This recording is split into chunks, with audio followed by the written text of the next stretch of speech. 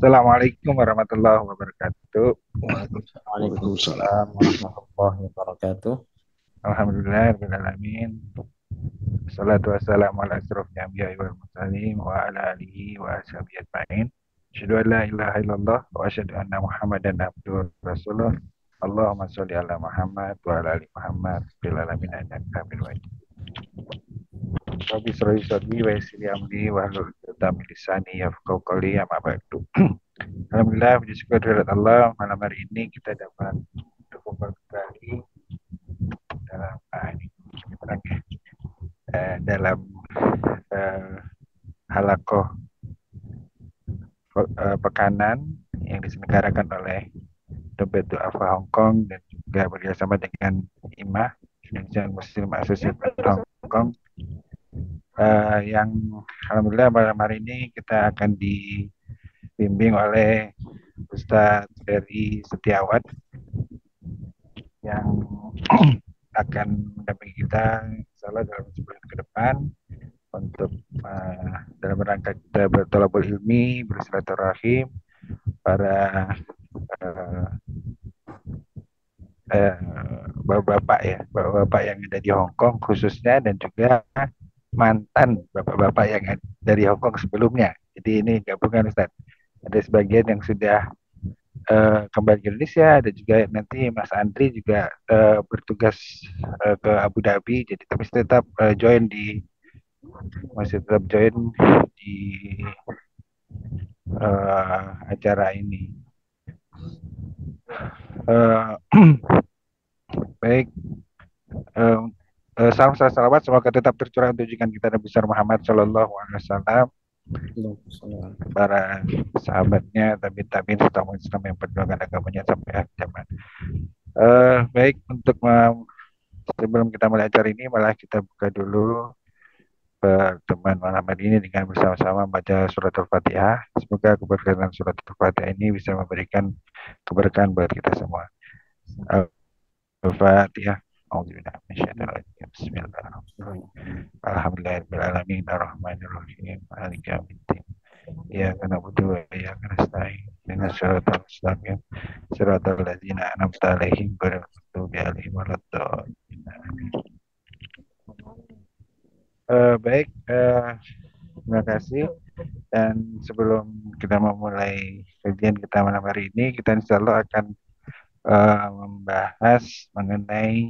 keutamaan bulan Rojab.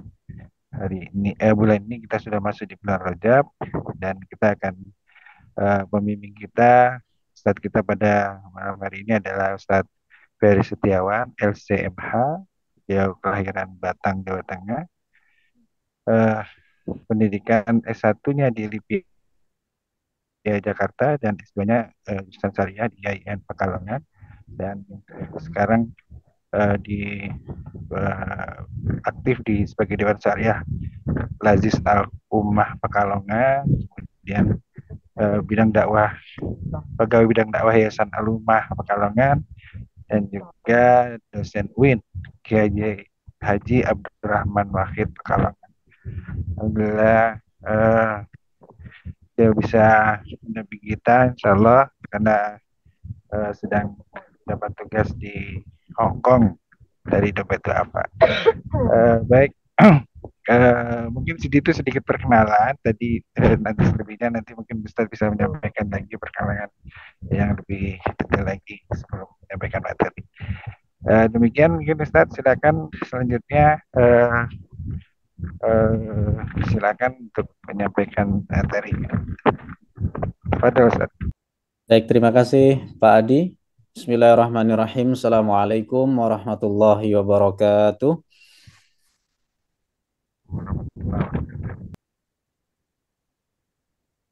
Alhamdulillahi rabbil alamin wa bihi nasta'inuhu ala umurid dunya waddin wassalatu wassalamu ala al-mab'uthi rahmatan lil alamin asyrafil anbiya'i wal mursalin سيدنا ونبينا محمد وعلى آله وصحبه ومن اتبع هداه وسنته وسلك نهجه القويم إلى يوم الدين أجمعين أما بعد فيا رب زدني علما وارزقني فهما رب اشرح لي صدري ويسر لي أمري واحلل عقدة من لساني يفقه قولي Subhanaka la ilma lana illa ma 'allamtana innaka antal alimul hakim. Shadaqallahul adzim.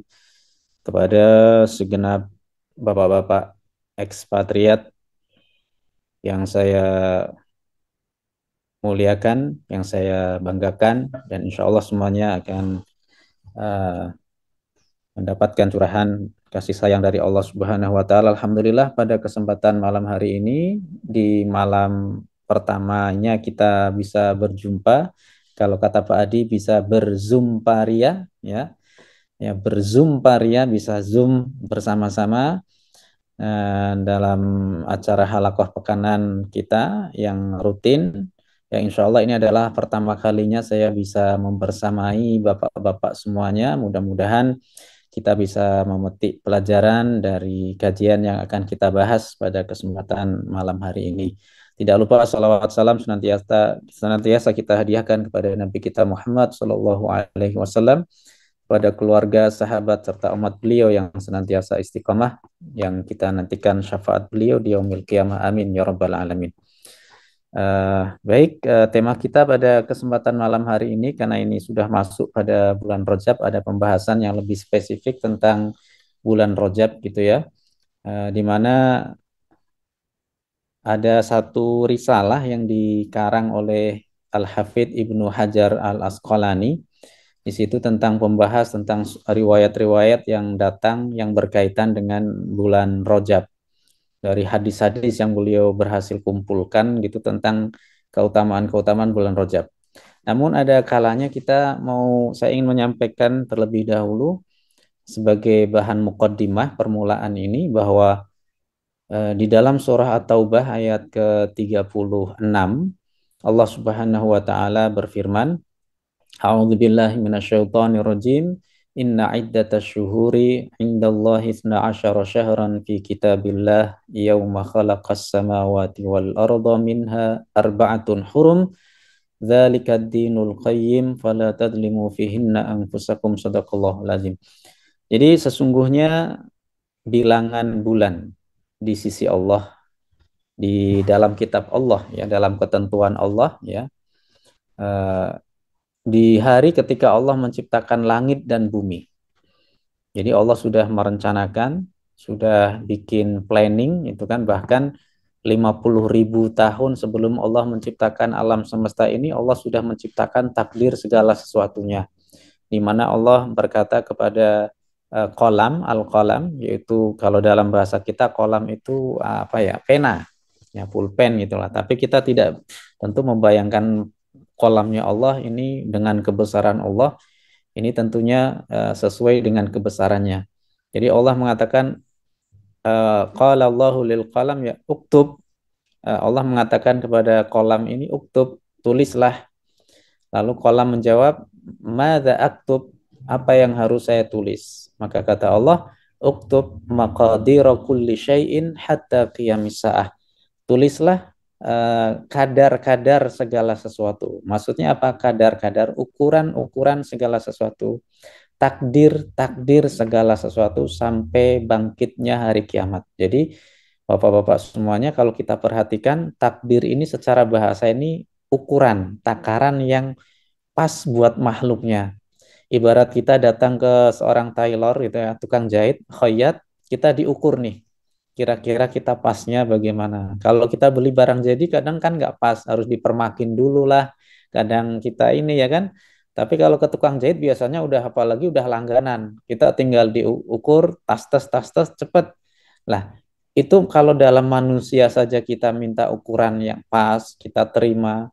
Kadang-kadang nih manusia sama ukurannya Allah, takdirnya Allah itu kadang banyak protesnya. Kok gini ya? Kok gini ya? Padahal udah ditakar betul sama Allah. Masa manusia yang ngukur aja kita percaya takdirnya Allah masih banyak yang mengeluh ya kan? Itu kayak gitu. Jadi kata Allah uh, tulislah segala apa ukuran segala sesuatu. Maksudnya takdir segala sesuatu sampai bangkitnya hari kiamat. Jadi sebelum ini Allah menciptakan ini alam semesta Allah pertama kali kan ada makhluknya Allah yang pertama ini arsy ya. Arsy kemudian baru ciptakan kolam, baru alam semesta ini. Jadi takdir segala sesuatunya ini sudah tertulis uh, oleh kolam atas perintah titah dari Allah Subhanahu wa taala. Uh, di saat itu ya di surat At-Taubah ayat 36 ini yauma khalaqas samawati wal ard yaitu minha arba'atun hurum. Jadi bahwa satu tahun ini ada 12 bulan di mana uh, ada di antaranya empat bulan itu yang hurum, yang haram. Haram ini maksudnya adalah uh, terhormat dan mulia. Jadi maksudnya sesuatu hukumnya haram, maksudnya kalau kita ini menjauhinya, kita tidak melakukannya, berarti kita akan menjadi manusia yang terhormat seperti itu. Ya, Al Masjidil Haram, Masjid Haram, masjid masjid yang terhormat yang tidak boleh ada hal-hal yang maksiat ya sesuatu ada di dalamnya. Jadi karena kemuliaannya. Jadi kata haram ini bisa diartikan haram mulia. Contoh nih, orang Arab tuh kalau bilang kalau orang Arab di Pekalongan nih ada namanya ada di satu kelurahan namanya Klego sama Poncol itu kalau ngucap apa ngomong istrinya ini itu harim kan harim aneh gitu kan orang Arab harim aneh maksudnya harim itu ya sesuatu yang haram tapi buat ente tapi halal buat aneh nah itu semua kehormatan suami, kekurangan suami yang tahu kartu asnya itu istri. Bahkan orang tua pun nggak tahu setelah kita menikah gitu kan ya, kita dewasa. Bahkan aurat kita lah ya, aurat kita ini nggak tahu kecuali pasangan kita. Masa kita udah gede, kita udah sunat kan malu tuh dilihat sama orang tua sama kakak kan gitu. Jadi yang tahu seluk beluk apa lekak-lekuk kita ya kekurangan kita kelebihan kita itu nanti pasangan kita. Makanya harim aneh maksudnya pasangan saya gitu ya. Pasangan saya maksudnya itu kehormatan saya ada di situ kelemahan saya dia yang tahu ya itu harim kan istri maksudnya seperti itu. Nah bapak-bapak semua yang dimuliakan oleh Allah jadi ada empat bulan yang mulia ya yang diagungkan uh, oleh orang-orang saat itu. Bahkan sebelum datangnya Islam eh, di masa jahiliyah ini orang-orang uh, suka yang namanya uh, mengagungkan bulan yang empat ini. Makanya kata Allah, "Dzalikad dinul qayyim." Itulah uh, aturan ya agama yang lurus, yang kokoh, yang tegak berdiri seperti itu. Fala tadlimu fihinna anfusakum. Maka jangan sekali-kali uh, mendolimi kalian menganiaya diri kalian sendiri di bulan-bulan itu bulan-bulan yang mulai yang empat itu. Nah ayat ini dijelaskan oleh Rasulullah dalam dalam riwayat Abu Bakroh gitu ya. Ada seorang sahabat Nabi namanya Abu Bakroh. Ya beda ya sama Abu Bakar. Kalau beda tak marbutoh aja sih itu. Abu Bakar nggak ada tak marbutoh, ini Abu Bakroh ada tak marbutohnya. Jadi Abu Bakar ini dulu termasuk as-sabiqunal awalun al-asyrah al-mubasyari nabil jannah, orang-orang yang pertama masuk Islam dan juga 10 orang yang diberi kabar gembira masuk surga dan juga khalifah pertama Rasulullah Shallallahu alaihi wasallam. Sedangkan Abu Bakar ini masuk Islamnya ini setelah Fathu Makkah. Jadi ini julukan ya Abu Bakroh ini. Bakroh ini kalau dalam bahasa Arab ini kalau Bapak tahu ini ya, kalau sumur zaman dahulu itu kan pakai kayak ada buletan yang buat ini loh, apa narik itu. Nah, itu beliau itu dulu masuk Islamnya ditarik sama itu, dia dia turun dari benteng Taif yang turun ya. Siapa yang mau artinya menyerah gitu mau masuk Islam itu beliau yang turun pertama. Maka sahabat memanggilnya Abu Bakroh bapaknya kerean gitu ya. Kurang lebih seperti itu. Nah ini ada riwayat dari Abu Bakroh jadi sahabat Abu Bakroh ini meriwayatkan dari Nabi bahwasanya beliau bersabda inna zamana qadistadarakahiyatihi sesungguhnya zaman ini sudah berputar sebagaimana mestinya sesuai dengan uh, perintah dan sunatullah wa kullun wa kullun fi falakin yasbahun ya kan dalam surah Yasin itu uh, segala sesuatu ini sudah dalam falaknya dalam peredarannya ini udah ini udah beredar. Tidak mungkin mereka ini melampaui batas jalan yang sudah ditentukan. Jadi benda-benda angkasa ini sudah berjalan sebagaimana mestinya Kemudian sahabat Abu Bakar ini, ini melanjutkan ya, banyak Rasulullah ini bersabda, zaman ini sudah berputar sesuai dengan ya artinya uh, sunatullah, sesuai dengan kehendak Allah. Yaitu yauma khalaqallahu samawati wal ard. Pada hari Allah menciptakan uh, langit dan bumi. As-sanatu ifna asyara syahran. Jadi satu tahun ini ada 12 bulan minha arba'atun hurum di antaranya ada empat bulan yang mulia. Salasun mutawaliyatun ada tiga bulan yang beriringan. Wawahidun mudor dan ada satu bulan yang mudor atau dalam riwayat lain dikatakan wahidu wahidun fardun satu sendirian. Yang tiga beriringan itu bulan mulia itu Zulqa'dah, Zulhijjah, dan Muharram bulan 11, 12 dan bulan 1. Kemudian satu yang sendirian itu adalah bulan Rojab alladzi baina Jumada wa Sya'ban yang diapit dua bulan yaitu bulan Jumadal Akhirah, Jumadal dan bulan Sya'ban. Jadi itu diapit. Bulan ketujuh ini bulan Sya'ban ini apa? Bulan Rojab ini. Dari ayat yang lain mengatakan bulan satu yang mudor milik kabilah mudor di mana orang-orang mudor saat itu mengagungkan saking mengagungkannya bulan Rajab ini mereka yang nggak mau perang di situ. Intinya Allah uh, melarang apa namanya mereka ini melarang diri mereka untuk berperang di bulan mulia itu. Jadi harus gencatan senjata nggak boleh berperang. Ya itu. Jadi harus fokus karena itu kan haji bulan haji itu ya Dzulqa'dah Zulhijjah, Muharram ini bulan-bulan haji, di mana orang mau datang ke Baitullah untuk melakukan ibadah haji, jadi perang harus dihentikan. Ini fokus untuk ibadah. Begitu pula dengan bulan Rojab. Bulan Rojab di mana ini bulan yang ada di tengah-tengah itu kan, di mana ada beberapa kabilah ini yang baru pulang itu kan dari perjalanan mereka, jadi tidak boleh diganggu.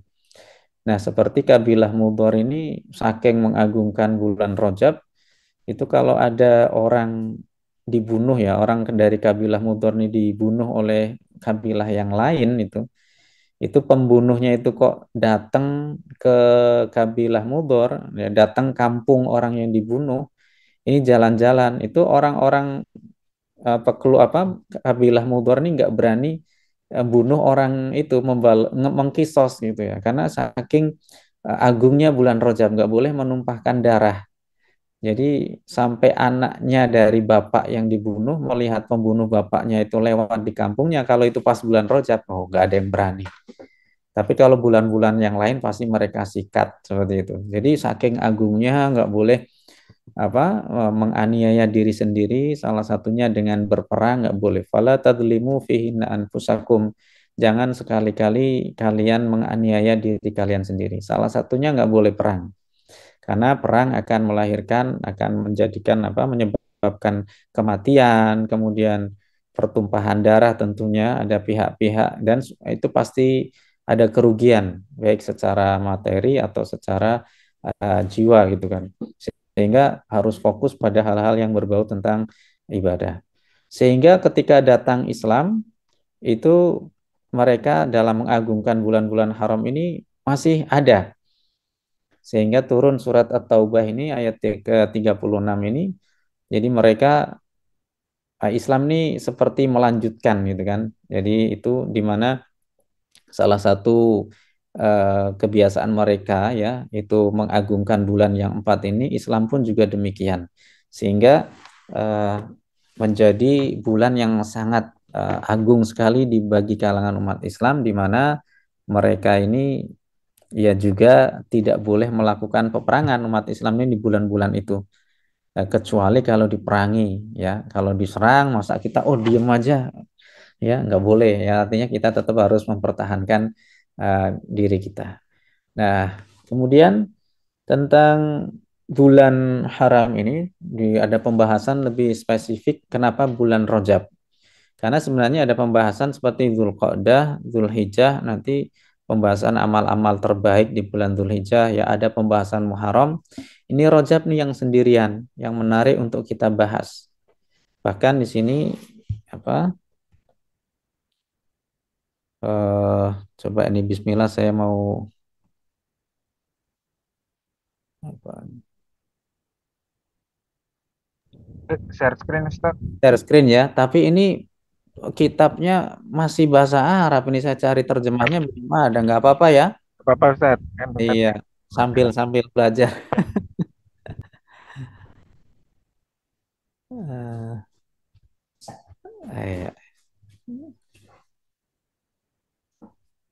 Udah, saya baca aja. Coba tanya, udah ada belum? Udah, udah kelihatan Ustaz. Tidak kelihatan ya.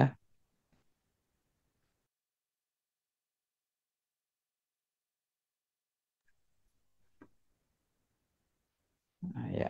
Dua aja. Oke. Iya. Ya ini ada satu risalah gitu ya, bukan bukan ini bukan kitab. Jadi orang Arab ini kalau menyebut kitab ini kan buku, kita kan mau buku itu tipis, mau buku tebel itu kita nyebutnya tetap buku gitu kan. Tapi orang Arab ini ada kayak kurosah.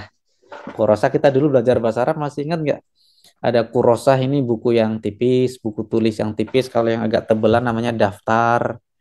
Ya kalau kitab ini yang bacaan ya ada buku bacaan. Nah ini kalau kitab ini biasanya relatif lebih tebel, tapi kalau ada namanya risalah, ya risalah ini ya kayak semacam karya ilmiah gitu ya, dan ini juga tebelnya ini paling halaman cuman nggak ada 100, nggak ada 100 halaman. Kalau kitab itu bisa lebih daripada itu. Ini pengarangnya adalah uh, judul kitabnya, eh, risalahnya maaf, itu adalah tabyinul ajab bima waroda fi fadli rojab. Jadi ulama dulu itu kalau ngarang kitab, ngarang risalah itu biasanya kayak ini, kayak puisi, bersajak.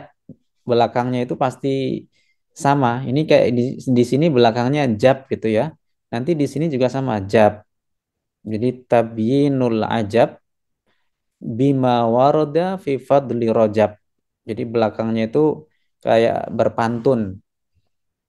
Ya, jadi apa namanya eh, ulama-ulama dulu seperti itu. Contoh umpamanya kayak kitab-kitab itu Fathul Qadir ya punya Imam Asy-Syaukani Fathul Qadir Al-Jami baina faniyid dirayati ya war riwayati fi ilmi tafsir. Jadi belakangnya itu sama itu sebenarnya uh, apa casing gitu ya. Jadi orang Arab ini kan uh, dalam hal puitis uh, sastra ini puisi sastra itu kan tinggi ya. Jadi dalam mengarang kitab pun itu makanya ada orang ini mengatakan ada satu pepatah kan orang barat don't judge the book just from the cover gitu kan. Jangan menghukumi buku ini hanya dari covernya saja, tapi kadang kita butuh atau perlu yang namanya menilai cover ternyata. Ini buktinya ulama-ulama dulu untuk menarik perhatian ini judul kitab ini dibikin kayak semacam ya, saja. Kayak contoh ini Bapak-bapak bisa dibaca nih. Tabyinul ajab bima waroda fi fadli rojab. Nah, ini kan berhentinya jab jab gitu kan. Ini bagi orang yang ya kalau yang ini ya sekilas kita nggak umpamanya nggak paham bahasa Arab pun kita akan merasa oh belakangnya kok sama ini. Ini menariknya di situ. Nah, ini bukan kitab. Jadi ini kalau dalam Arab ini dalam bahasa Arab itu ya piring itu bisa ada ada lima istilah.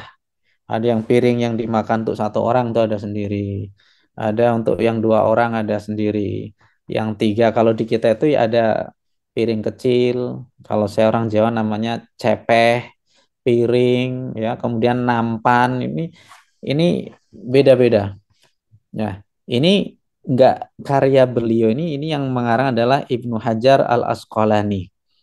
Beliau seorang ulama dari madhab Syafi'i yang pensyarah dari kitab Sahih Bukhari ya yaitu uh, Fathul Bari. Jadi karya beliau pun dalam mensyarah uh, kitab Sahih Bukhari menarik juga. Fathul Bari ala apa? ala syarhi Sahihil Bukhari. Ya kan? Fathul Bari ala syarhi Sahihil Bukhari. Nah, jadi belakangnya itu bersajak. Ini menarik. Ini kalau secara sastra ini ya luar biasa. Ini Ibnu Hajar mengarang satu risalah ya kayak tulisan di mana beliau ini dikatakan di sini tulisannya kan taklif ini apa karya ahfadzul huffad jadi hufat ini jamak dari hafid ya. Kalau kita tahu hafid ini dalam ilmu dalam istilah Al-Qur'an gitu ya. Itu kan orang yang hafal 30 juz. Ya, tapi kalau al-hafid dalam dunia hadis itu paling enggak hafal 100 ribu hadis lengkap dengan sanatnya. Masya Allah. Jadi kalau hafid dalam dunia apa? Quran itu kan hafal 30 juz. Tapi kalau untuk dunia hadis itu hafal paling enggak 100 ribu. Siapa saja orang yang mendapat gelar hafid? Ibnu Kathir, ya Ibnu Qudamah, ya Ibnu Hajar al Asqalani, ada yang belakangnya al Hafid kan. Jadi bapak-bapak kalau ada baca buku hadis, kalau ada pengarangnya al Hafid, siapa itu gelar, itu berarti dia hafal ratusan ribu. Paling enggak dia sedikitnya seratus ribu hadis lengkap dengan sanatnya. Jadi ulama-ulama dulu itu banyak yang ahli hadis. Kalau kita i-nya yang belakang ganti a. Ahli hadas kita ini ya, bukan ahli hadis tapi ahli hadas, dikit-dikit hadas, dikit-dikit hadas nah itu. Jadi apa? Kita mereka ulama ahli hadis ya sekali dengar mereka hafal ya. Nah ini ahli hadis nih ada derajatnya macam-macam. Salah satunya ini Al-Hafid ya, itu adalah yang hafal 100 ribu hadis. Di sini dikatakan ahfadul hufad. Jadi hafid yang paling hafid. Amirul Mukminin. Amirul Mukminin itu juga salah satu pangkat dari orang yang ahli hadis juga. Ya, di atasnya lagi itu di atas amir, apa hafid itu bisa lebih dari 300 ribu hadis dalam menghafal apa hadis-hadis Rasulullah Syekhul Islam, Syekhnya Islam Abil Fadl Ahmad bin Ali bin Hajar Al Asqalani. Jadi Abdul Fadl Ahmad bin Ali bin Hajar Al Asqalani yang beliau hidup di tahun 773 sampai 852 Hijriah atau Masehinya ini 1372 1449 Masehi. Nah, ini beliau ini mengarang sebuah risalah ya. Bahkan dulu saya ada pembahasan risalah beliau tentang lagi marak-maraknya pandemi itu. Jadi tentang masalah badlul maun firoddid apa itu? Uh, tentang masalah penyakit taun. Jadi badlul maun firoddid taun. Jadi ada badlul maun. Ini badlul maun ini berarti salah satu kita ini biar terhindar dari bala ya, terhindar dari yang namanya pandemi, musibah ini salah satunya kita ini apa banyak-banyak sedekah. Lah dalam Al-Qur'an ini ada surat Al-Maun.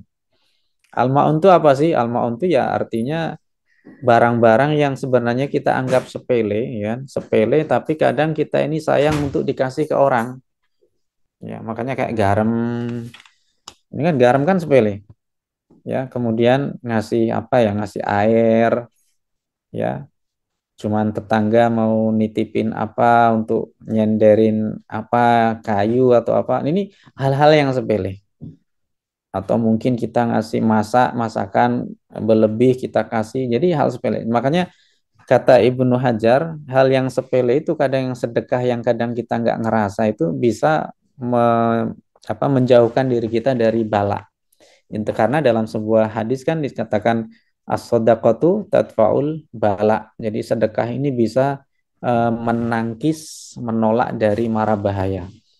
Jadi antara al-maun dengan at-taun dalam risalah Ibnu Hajar ini ya kita ini harus uh, paling enggak ini untuk menghindari kita dari taun wabah itu kan yang namanya wabah taun itu kan dulu ada wabah namanya taun ya di mana dulu di masa Umar ini 25 ribu sahabat meninggal dunia, tahun Amwas namanya. Nisbat kepada tempatnya itu banyak sahabat yang meninggal di antaranya Abu Ubaidah, Ibnul Jarrah, ya Muad bin Jabal itu di Syria dia di Suria. itu puluhan ribu sahabat meninggal karena ada taun. Nah, salah satunya itu karena apa kaitannya taun dengan maun itu. Jadi barang-barang yang harus kita sedekahkan kepada orang lain ini salah satunya untuk menghindarkan kita dari dari mara bahaya. Nah, ini di risalah ini Ibnu Hajar juga membahas tentang tabyinul ajab bima warada fi fadli rajab. Jadi tabyin itu klarifikasi. Ya. Al ajab ini hal-hal yang ajib, yang mengherankan. Yang yang menghebohkan gitu ya. Bima waroda fi fadli rajab terhadap hadis-hadis atau riwayat-riwayat yang menjelaskan tentang keutamaan rojab. Jadi mengklarifikasi hal-hal yang menghebohkan, terutama hadis-hadis yang datang menjelaskan tentang keutamaan rajab. Itulah kira-kira makna dari risalah beliau. Jadi risalah ini buku tapi yang hanya beberapa halaman, itu ya namanya risalah. Ya kayak kalau ini kalau dulu di D3 itu namanya tugas akhir. Jadi kalau skripsi kan bisa lebih itu ya. Tapi kalau risalah ini lebih ke ini. Ya saya sedikit tahu ya saya karena di apa ngajar di UIN Gus Dur Kalongan Gus Gus Dur ya Kiai Haji Abdurrahman Wahid itu jadi di situ ada tugas akhirnya anak-anak D3 itu kan itu simple gitu kan nggak kayak skripsi. Kalau skripsi kan harus ini ya lebih lebih kaya itu kan. Jadi ini kayak semacam kayak ya, tulisan yang tidak sampai menjadi sebuah kitab gitu ya. Karena halamannya cuma beberapa aja paling masih puluhan gitu. Ini beliau mengarang sebuah risalah ini tentang menjelaskan riwayat-riwayat yang berkaitan dengan uh, bulan Rojab karena kan kita sering tuh yang namanya mungkin dapat yang namanya terusan WA uh, eh, di malam pertama bulan Rajab tuh, hari terakhir uh, bulan Jumat dasarnya. Barang siapa yang puasa sehari di bulan Rajab, maka dia akan mendapatkan pahala sebesar atau lebih baik dari 100 tahun. Nanti yang puasa dua hari dia dapat ini. Nah, yang terakhir itu yang paling menarik yang meng-share saja akan mendapatkan pahala sebesar 83 tahun ibadah. Pernah nggak Pak Didi dapat yang kayak gitu? Terlalu hampir tiap tahun. Nah, hampir tiap tahun berulang-ulang. Mas Esa pernah? Pernah ya? Iya. Pak Pak ini pernah. Pak Zirjis, Pak Adi pernah nggak dapat kayak gitu? Hampir itu berulang sering, tiap sering. tahun. Ah iya, kan gitu bisa udah lima tahun terakhir eh, tiga tahun terakhir udah nggak lagi karena ya. setiap kali dikirim saya marahin. Oh iya betul. Dan juga ini juga pak yang mungkin yang ngirim juga yang pertama kali bikin tulisan gitu ya. Ya artikel itu mungkin udah lama-lama kok udah protesin sana sini terus akhirnya udah ah berhenti aja dah. Saya juga udah nggak pernah dapat soalnya. Udah bener kayak Pak Didi ya udah tiga tahun ini betul kurang lebih tiga tahun sejak pandemi itu udah nggak ada orang ngirim kayak gitu. Tapi ada loh yang masih ngirim-ngirim itu masih ada. Ya segelintir orang lah gitu kan. Ya, baru baru belajar, baru dapat WhatsApp. Iya, baru baru baru inilah dia baru masih baru kenal WhatsApp baru-baruan. Jadi, jadi masih apa ya? Masih lagi demen-demennya nge-share nge-share gitu kan, lagi semangat-semangatnya. Itu kan yang paling enak itu kan gini yang menyebarkan mengingatkan saja itu pahalanya 80 tahun. Masya Allah itu kayak hampir Lailatul Qadar tuh tinggal nge-share senam jari Masya Allah dapat pahala 80 tahun ini. Nah indikasi sih biasanya gejalanya hadis palsu itu hadis yang lemah banget tuh biasanya apa amalannya ringan tapi pahalanya terlalu besar. Nah ini mau dijelaskan nih di risalah ini ibaratnya ini semacam kayak bedah buku lah ya, bedah buku gitu kan. Nah, bedah bedah itu hadis palsu yang itu sampai nggak ada lagi di kitab kumpulan hadis palsu dia nggak ada lagi di situ bahkan sampai di kumpulan hadis palsu pun nggak ada. Nah ini yang nggak ada itu. paling parah juga itu ya kan? paling palsu. Itu. makanya udah palsunya paling palsu itu ya. Sampai rawahunya bukan rawahu siapa lagi tapi rawahu siapa ya. Kalau dulu saya guyonan sama teman-teman itu rawahu siapa dengan rawahu stasiun TV apa gitu kan. Nah itu maunya kayak ah ANT ini rawahu apa ada yang guyonan itu rawahu Indosiar apa rawahu SCTV atau itu itu mah guyonan aja gitu kan ya buat buat ini jadi eh, bukan atau bukan hadis lah yang jelas bukan lagi ini nah ini kita insya Allah ya di sini jadi gejala itu hadis-hadis palsu itu udah ya terlampau ini ya apa namanya eh, kecil amalannya tapi besar. Sebenarnya boleh kan kita mengamalkan hadis palsu itu, eh maaf bukan palsu, hadis lemah itu ya. Hadis lemah itu syaratnya kelemahannya itu tidak terlalu. Ya, kemudian dia ada di bawah hadis soheh yang masih secara umum dia terayomi gitu ya. Dan juga nggak bolehnya tidak boleh dalam urusan akidah dan hanya berkaitan kepada keutamaan amal, nah, amal-amal fadhailul amal itu. Tapi kalau masalah yang ranah akidah itu tidak diterima kata kaidah para ulama hadis seperti itu. Baik, eh, risalah ini ya beliau namai dengan Tabyinul Ajab bima waroda fi fadli rojab. Kemudian yang menarik di sini di pembukaannya ini ada beliau mengetengahkan sebuah hadis dari sahabat Salamah bin Al-Aqwa radhiyallahu taala anhu. Qala Nabi sallallahu alaihi wasallam uh, man yaqul alayya ma lam akul falyatabawa maq'adahu minan nar rawahu al-Bukhari man barang siapa yaqul mengatakan alayya atas diriku, maksudnya mengatasnamakan diriku, malam akul, sesuatu yang aku belum pernah mengatakannya. Falyatabawa, maka hendaklah dia mempersiapkan maka adahu tempat duduknya minan nar dari neraka. Hadis riwayat Imam Bukhari. Ini hadis sahih, bahkan kata para ulama ahli hadis ini bukan eh bukan hadis sahih lagi nih, mutawatir. Ya. Jadi kan hadis ini kan secara besar kan, secara garis besar ada dua macam, mutawatir sama ahad ya kan. Mutawatir itu paling enggak diriwayatkan oleh 20 sahabat setiap tobakoh sanatnya. Ini sahabat 20 tahu populer lah hadisnya ini hadis populer.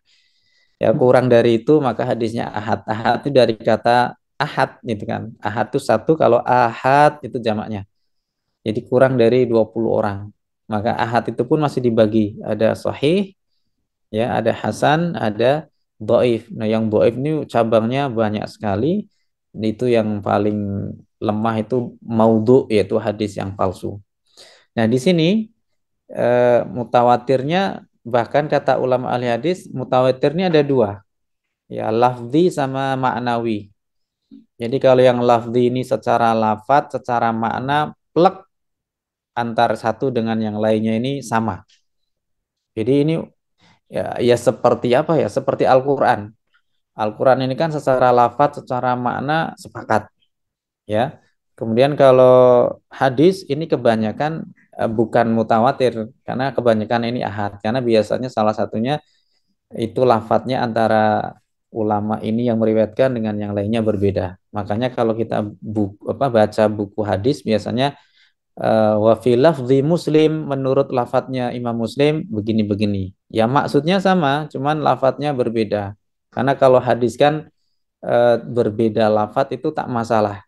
Tapi hadis yang seperti ini yang saya maksud mutawatir lafzi ini jadi semua perawinya ngomongnya sama persis. Jadi kalimatnya perkataannya ini sama persis, nggak ada perbedaan.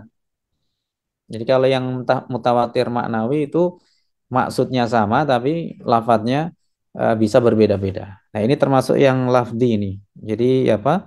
Uh, secara lafadznya plek atau apa maksudnya sama secara lafadznya nggak ada beda barang siapa yang mengatakan atas nama diriku uh, apa ya apa yang aku tidak uh, mengatakannya maka persiapkanlah tempat duduknya dari neraka dia berbohong atas nama Nabi Shallallahu Alaihi Wasallam karena hadis palsu itu juga munculnya itu kan karena apa ya keadaan politik yang tidak menentu dan juga ekonomi juga termasuk ekonomi itu luar biasa Ya, ada hadis palsu, palsunya palsu tadi Pak uh, Didi mengatakan ada itu hadis seperti ini. Pernah dengar nggak? Man akala uh, badinjan atau apa ini uh, dakhalal jannah. Yang makan terong dia akan makan apa masuk surga.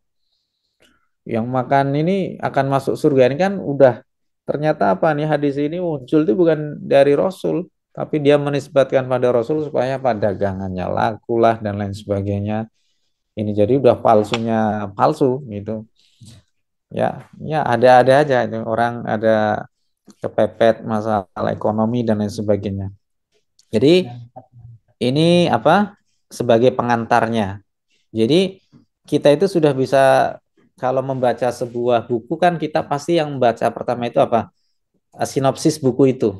Ada film kita baca sinopsisnya, jalan ceritanya seperti apa. Ini paling nggak kita punya gambaran. Nah, salah satunya ini hadis ini kok diawali dengan apa buku ini diawali risalah ini diawali dengan man yakul alayya malam akul falyatabawa maqadahu minan nar. Ini ada apa gerangan tentang apa maksud dari Ibnu Hajar Al Asqalani ketika beliau mengarang risalah ini? Ada apa sih kok sampai beliau uh, seperti itu gitu kan? ada apa ini kira-kira? Nah, inilah yang menarik untuk kita uh, bahas seperti itu ya. Ya, ini ada tahkiknya ini kita lewati saja ya. Nanti pada di awal buku ini Nah, ini ada ada al-umrah fi rajab al-umrah fi Rajab ini umrah di bulan Rajab. Ya, jadi yang halal itu ya yang sudah dihalalkan Allah, yang haram ya yang diharamkan Allah. Seperti hadis sahih itu kan ada innal halala bayyin wal haramu bayyin. Innal halala bayyin wal haramu bayyin. Yang halal sudah jelas dan yang haram pun sudah jelas. Jadi agama ini apa yang sudah disyariatkan oleh Allah dan Allah juga telah mensyariatkan umroh eh, ke tanah suci ke bait Baitullah itu kan dan umroh ini menurut pendapat yang kuat ini hukumnya bukan sunnah tapi wajib ya wajib satu kali seumur hidup seperti haji ya makanya dulu orang waktu zamannya haji belum ngantri lama itu orang taunya ya haji sekalian nanti niat umroh kan haji ini. Tapi kalau apa namanya eh, sekarang orang udah nunggu kelamaan, akhirnya dia banyak yang umroh. Ternyata memang apa umroh itu hukumnya wajib sekali dalam uh, dalam seumur hidup itu kan sama seperti haji. Jadi tidak ditentukan waktu kapannya ya tetapi dijadikan sebagai hal yang disyariatkan di semua waktu. Nah, seperti akan tetapi ada ya umroh yang yang besar pahalanya itu adalah umroh di bulan Ramadan. Ya, karena banyak ya, sekali riwayat yang menjelaskan tentang uh, umroh keutamaan umroh di bulan Ramadan. Ya. Ini ada kisahnya dari Ibnu Abbas radhiyallahu anhu bahwa Nabi Shallallahu alaihi wasallam itu bertanya kepada seorang perempuan dari Ansor Madinah ketika Rasulullah ini ke Makkah itu kan uh, tidak ikut uh, haji bersama Rasulullah di haji wada ini kan. Ini banyak sahabat yang berhaji itu kan di haji wada ini. Di tahun ke ke 10 Hijriah. Namanya Ummu Sinan. Jadi perempuan ini namanya Ummu Sinan. Kemudian Rasulullah bertanya sama Ummu Sinan ini ma mana aki antakuni hajjati ma'ana? Apa yang menghalangimu untuk berhaji bersama kami? Kata Rasulullah. Qalat maka Ummu Sinan menjawab, Natijani kana li abi fulan. Saya ini ya Rasul cuman punya dua ekor keledai. Ya. Punya asi bapaknya anak ini, ya maksudnya suaminya itu digunakan satu untuk dia kendaraan untuk berhaji bersama anak saya, dan yang satu ini untuk mengolah uh, tanaman nanti mengolah sawah ladang di di apa di di rumah di kampung karena pekerjaannya seorang petani gitu kan Jadi yang satu untuk cari nafkah, satunya untuk ibadah, untuk kendaraan ke mana? Ke Baitullah. Maka Rasulullah pun tidak menyalahkan kan karena beliau seorang basyir pemberi kabar gembira itu kan. Maka Rasulullah pun memerintahkan kepada si ibu ini Ummu Sinan uh, idza kana Ramadan apabila datang Ramadan ya fa'tamiri maka berumrah berumrahlah fa innaha ta'dilu hajjatan ma'i. Sesungguhnya umroh di bulan Ramadan itu pahalanya seperti haji bersamaku. Ya, karena kalau kita lihat dari segi price harganya juga ya kalau Ramadan ini kan full sudah uh, ke apa ke booking semua itu kan harganya mahal ini karena keutamaan minatnya ini minatnya sangat tinggi sekali ya sehingga umroh di bulan Ramadan ini harganya itu uh, mahal ya seperti harga haji lah sebelum haji naik haji sekarang mas udah ini udah udah udah fix belum ini naik hajinya ini Pak masih Kalau di Hong Kong lah, saya nggak tahu berapa. Uh, iya. Ada beberapa teman kemarin masih tahu. Ini. Baik. Kan ini lagi katanya ada digodok sampai um, 70 juta ya. Berarti kan dari 35 di, di, di Indonesia ya. Iya, betul. Uh, ini kan banyak Hongkong saya tahu. Iya. Jadi kan kalau taruhlah nih sebelum naik ini harga 35 juta. Ya. Umroh ini di bulan Ramadan rata-rata juga rata-rata harganya segitulah 35 juta. Jadi eh, pahalanya itu ya seperti haji bahkan haji bersama Rasulullah. Ya. Jadi apa namanya uh, biayanya besar ya karena bulan Ramadan itu bulan yang mulia dilipat gandakan pahala.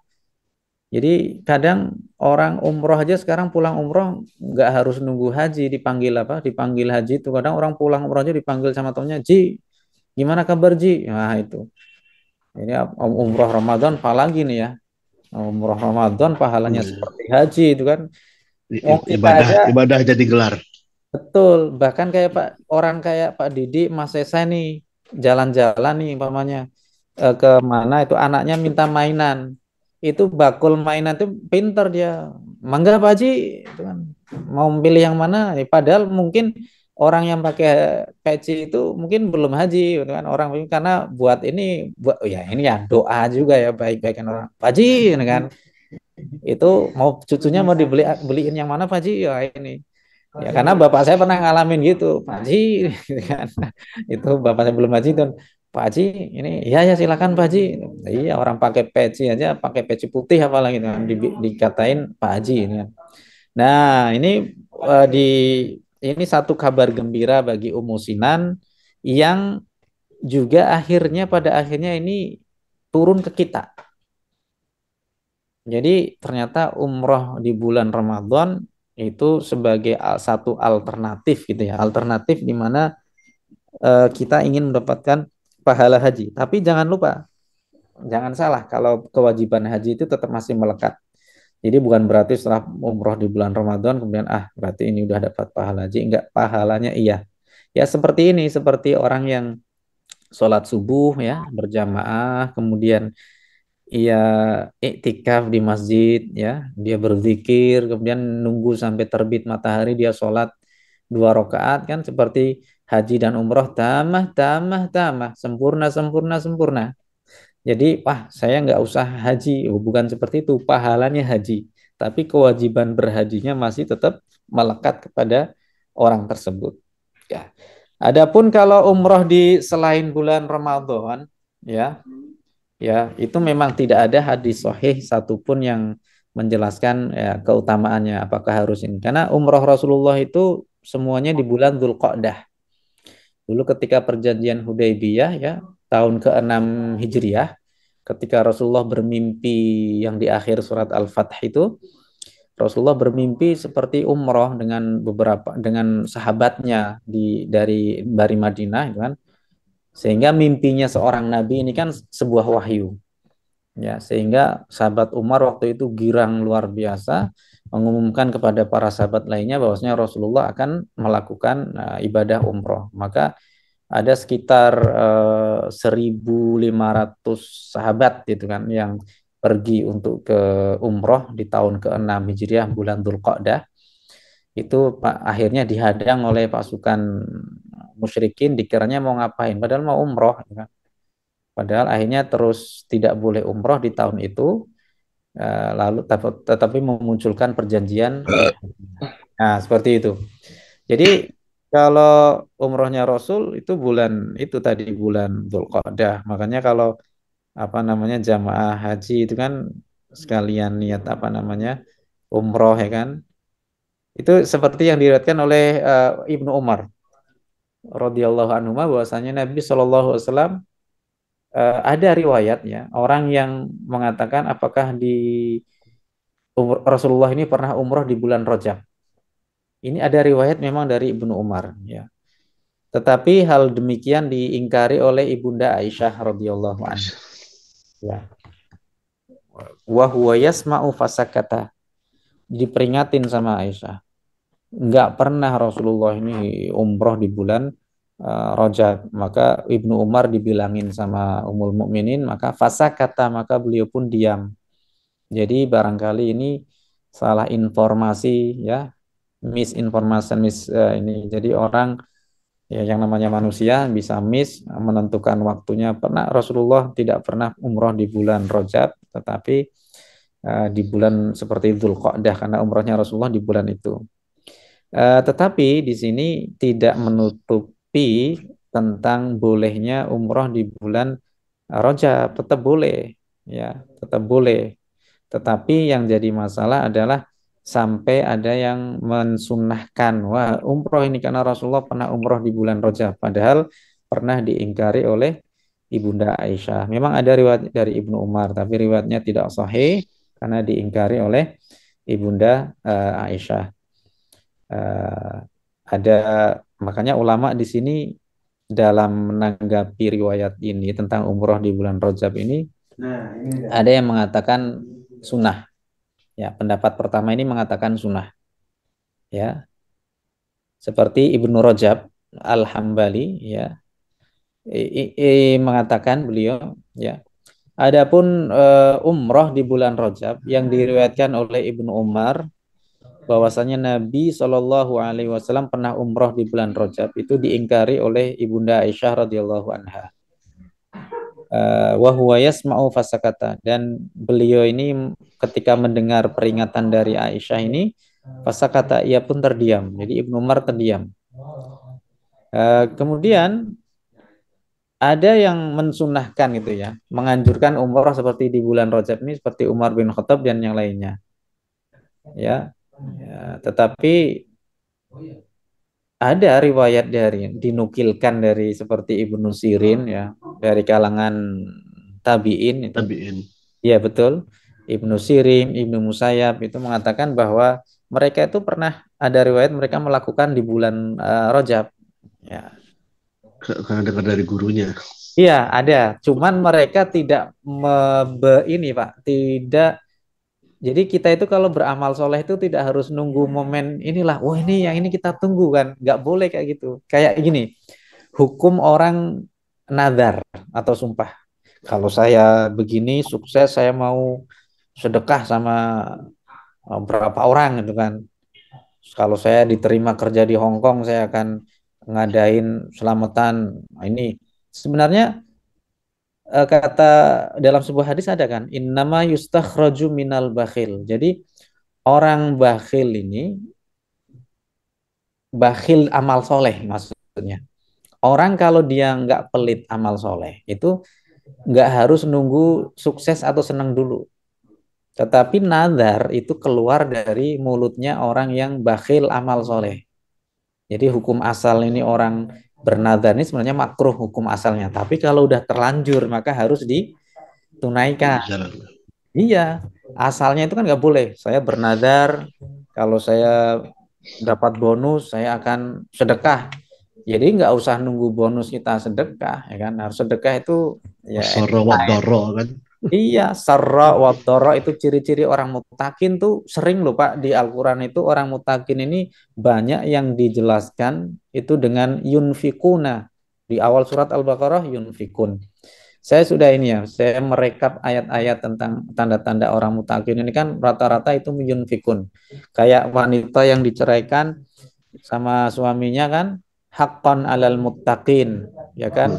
Walil mutallaqati mata'um bil ma'ruf. Jadi bagi perempuan-perempuan yang diceraikan suaminya dia mendapatkan mata. Mata ini apa? Nafkah bil ma'ruf dengan cara yang ma'ruf. Haqqan alal muttaqin wajib bagi suami yang bertakwa. Ya. Terus yang tadi Pak Didi bilang tuh ya yunfikuna fisara wa itu di surat Al Imran itu kan yang wasari'u ila magfirati mir rabbikum. Ya, itu yun apa uiddat lil muttaqin. Uiddat lil muttaqin alladzina yunfikuna fisara wa yang berinfak dalam keadaan lapang atau keadaan uh, apa susah sempit selalu berinfak. Ada lagi di awal surat Al-Baqarah ya kan? Alif lam mim dzalikal kitabul la raiba fihi hudalil muttaqin alladzina yu'minuna bil ghaib wa yuqimuna shalah wa mimma razaqnahum yunfikun. Ayat tentang wasiat. Kutiba alaikum idza hadara ahadakumul maut in taraka khairanil wasiyatu lil walidaini wal aqrabina ya kan? Haqqon itu kan ada alal muttaqin lagi. Ya itu jadi intinya banyak ayat-ayat yang berkaitan dengan orang bertakwa itu banyak yang ber, apa di selalu dimasukin di situ salah satunya ciri orang bertakwa itu berinfak.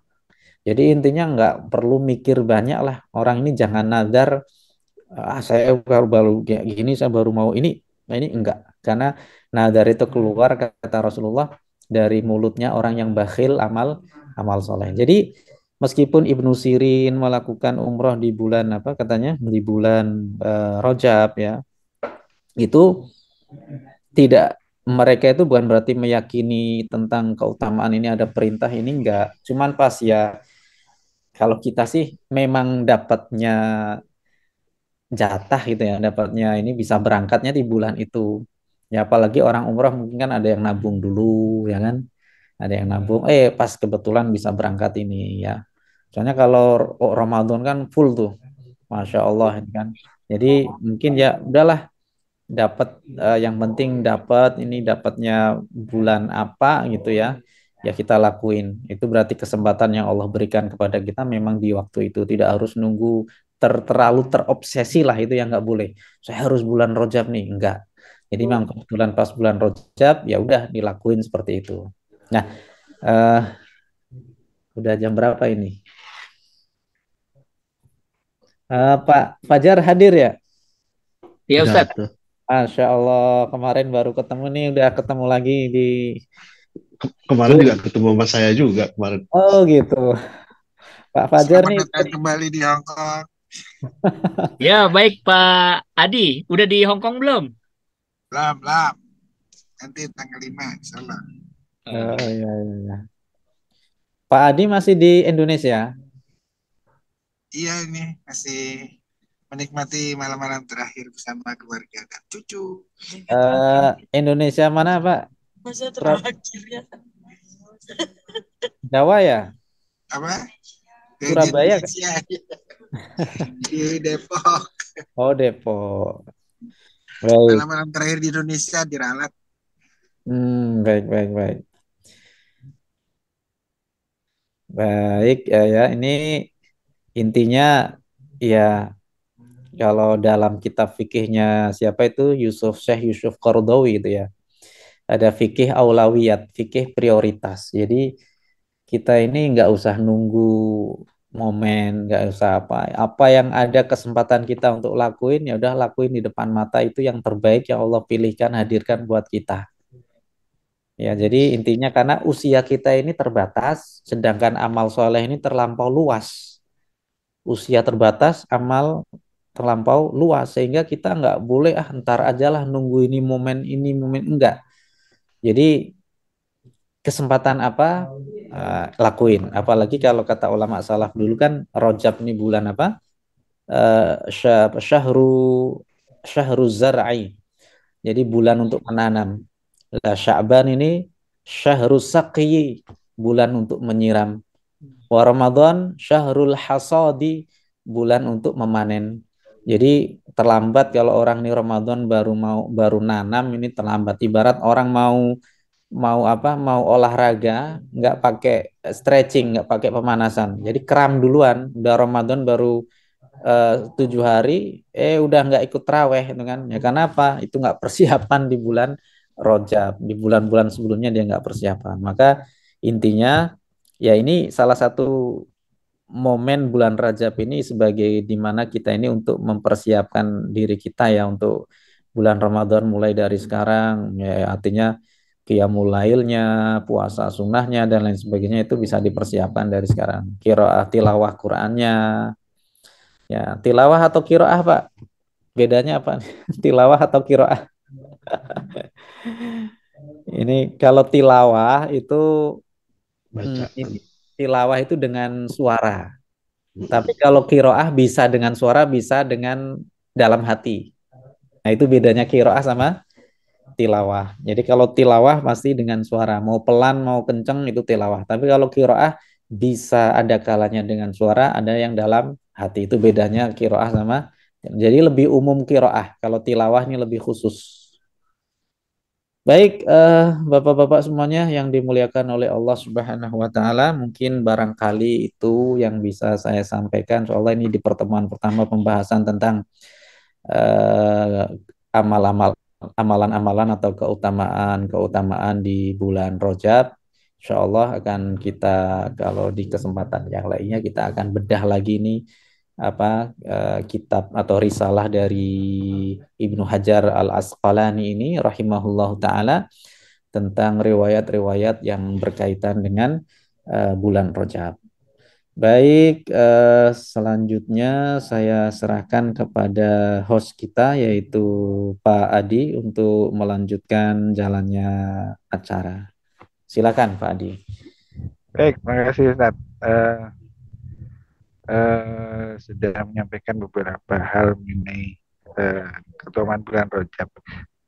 Dan intinya sih kalau ini saya tangkap tadi uh, ketika ada hadis-hadis atau pernyataan-pernyataan uh, yang me, apa seolah-olah itu hadis yang memberikan informasi berlebihan terhadap bulan Rajab itu perlu di, di ditelah lebih lanjut gitu ya Ustaz ya. Baik. uh, uh, jadi biar ini tapi uh, tapi secara kalau yang yang sahihnya sebenarnya bulan Rajab ini bagian dari bulan haram kan gitu Ustaz ya. Iya. Bagian dari bulan haram dan perjanjian Hudaybiyah juga di bulan Rajab gitu. Uh, di bulan Dzulqa'dah masih oh, di bulan ya. haram juga, masih di bulan haram juga. Tahun ke-6 Hijriah. Jadi kalau yang sahih keutamaan bulan Rajabnya itu sendiri ya Pak Ustaz intinya. Kalau yang berlebihan itu tadi itu hadis-hadis palsu, kalau keutamaan bulan Rajab yang sahih itu eh, sebenarnya jadinya gimana Ustaz kalau boleh diulas kembali.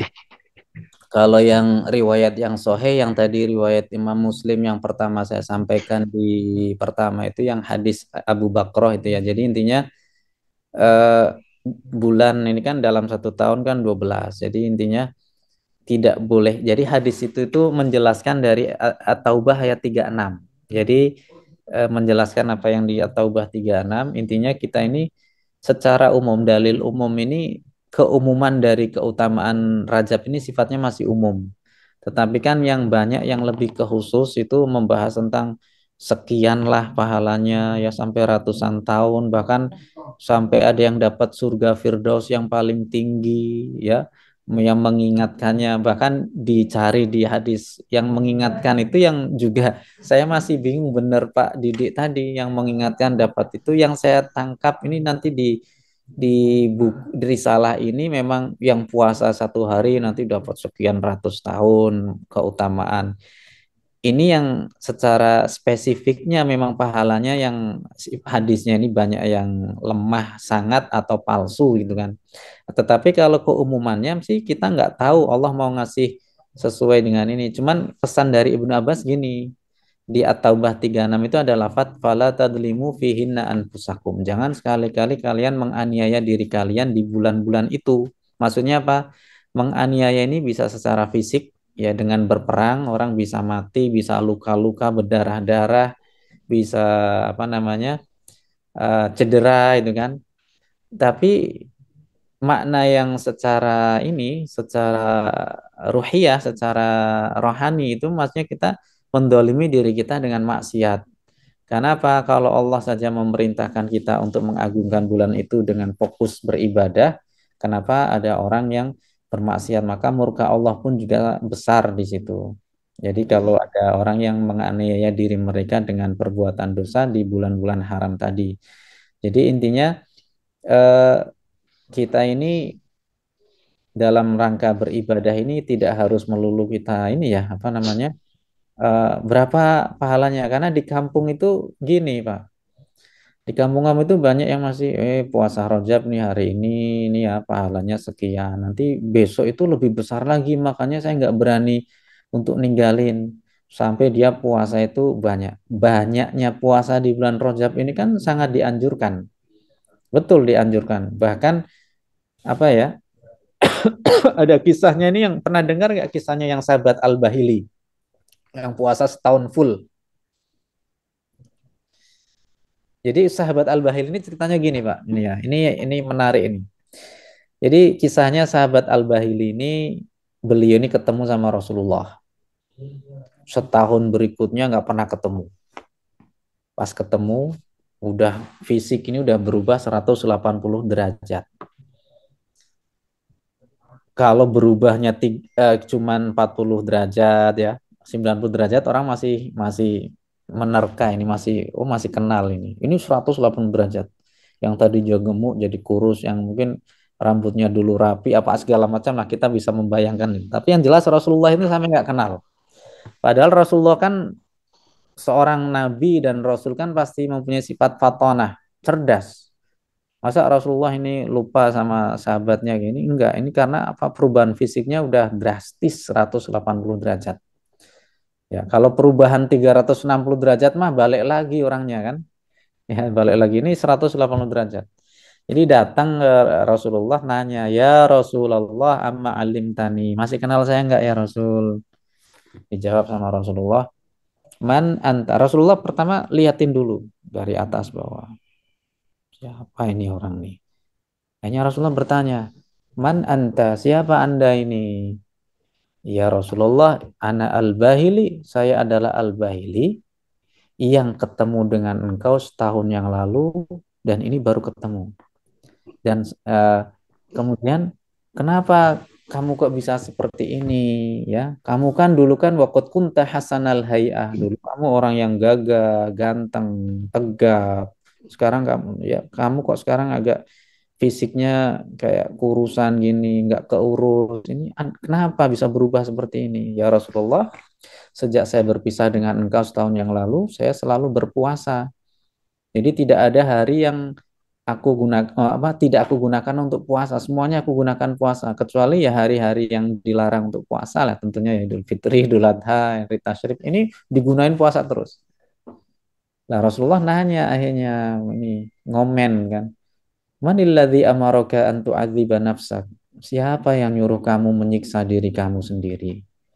Nah kata sahabat Al-Bahili, ya saya nggak mau nyiksa ya Rasul. Saya intinya saya mau beribadah yang yang kualitas ibadahnya ini ya luar biasa.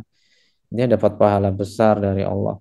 Maka kata Rasulullah, ya tidak seperti itu kan. Kalaupun kau mau puasa, Rasulullah lihat fisiknya Al-Bahili yang seperti itu, sum yauman mingkuli syahar. Puasalah satu hari di setiap bulan aja. Cukup kamu jangan sampai 29 hari atau 30 hari dalam setiap satu bulan hijriah ini kamu nggak puasa. Jadikan satu hari aja puasa, minim.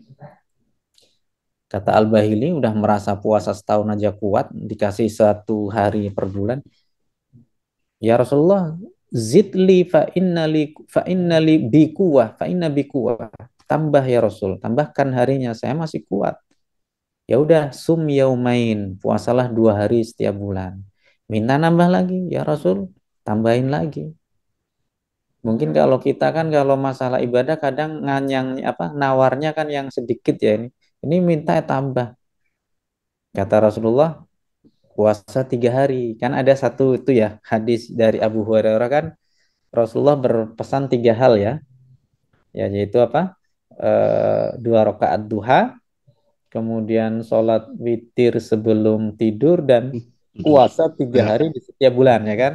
Nah ini kan sinkron dengan hadisnya Al-Bahili tadi. Cuman kalau yang Al-Bahili tadi yang pertama opsi pertama satu hari setiap bulan. Kemudian minta tambah dua hari. Kemudian tiga hari per bulan. Ternyata Al-Bahili ini masih nawar lagi ya Rasulullah bisa ditambah lagi enggak? Ya kemudian kata Rasulullah kalaupun kamu mau puasa sebanyaknya artinya puasa banyak sum ashurallahil hurum puasalah di bulan-bulan Allah yang mulia. Yaitu apa? Rojab, kemudian ada Dzulqa'dah, Dzulhijjah dan Muharram. Jadi silakan mau memperbanyak puasa di situ. Jadi ini keumumannya seperti itu. Jadi cuman orang ini lebih terobsesi pada pahalanya. Adalah saya mau pahala ini.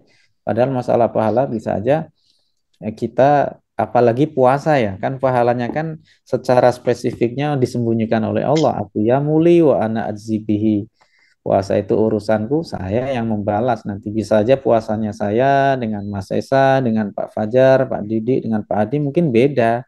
Sama-sama puasanya tapi mungkin pahalanya beda. Kalau amalan pun ada yang di paling sedikit 10 kali lipatnya. Ada yang sampai 700 lipat ya seperti sedekah. Bisa lebih ya. Tetapi untuk puasa ini masih dirahasiakan oleh Allah. Berapa kita mendapat kelipatan pahalanya Allah alam jadi yang jelas eh, kebanyakan orang awam ini memang dan masih banyak memang kadang ada penceramah yang menyampaikan tentang hadis-hadis tentang rojab itu disampaikan sehingga orang ter, apa, termotivasi karena pahala itu seperti itu. Jadi bukan masalah puasanya yang dilarang tapi terobsesinya itu yang ini yang tidak sesuai dengan uh, kesohihan hadis yang mereka dapatkan. Jadi seperti itu.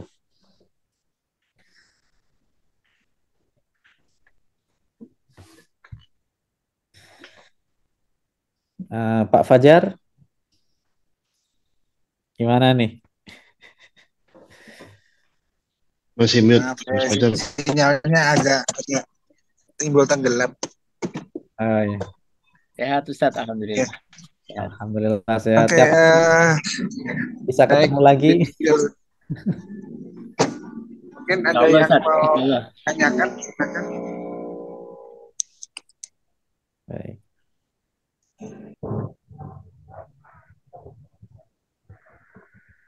Uh, Mas Mas Sesa, mungkin mau nanya atau siapa? Silakan, silakan. Mas Andri, oh Mas Andri, gabung. Kalau saya sudah cukup clear sekarang, jadi uh, uh, ya istilah yang mengenai rojab ini sudah Sangat jelas tadi Ustaz menjelaskannya. Baik. Nanti insya Allah masih ada si seri yang untuk pembahasan lebih spesifik ke hadisnya nanti. Insya Allah. Iya. Yeah. Oke teman-teman, barangkali ada yang mau uh, menanyakan lebih lanjut. Mas Andri, Mas Andri ini sudah gabung nih Ustaz dari Abu Dhabi nih Ustaz. Masya Allah. Dulu di belum ada uh, Pak tapi bisa uh, sempat ngikutin dari awal tadi ya, Mas Iya. Uh, dari setengah tadi Pak Adi, soalnya baru pulang saya tadi. Oh iya. Intinya hmm. sih ya itu tadi uh, hadis-hadis yang terlalu melebih-lebihkan di bulan Rajab itu perlu diwaspadai. Oh iya, siap. Baik Pak. Ya kalau sederhananya sih itu aja kalau kita mau mau mau ber, buat baik beramal soleh di bulan Rajab beramal soleh aja gak usah mikirin pahalanya biarkan Allah yang memberikan sesuai dengan rahmat Allah kemurahan Allah gitu ya